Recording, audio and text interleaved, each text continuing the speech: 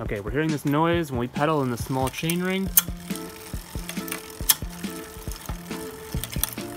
So it wasn't a chain failure, it was a connecting pin failure starting to come out. A little bit more riding, this chain probably could have snapped. So we're gonna take out the chain,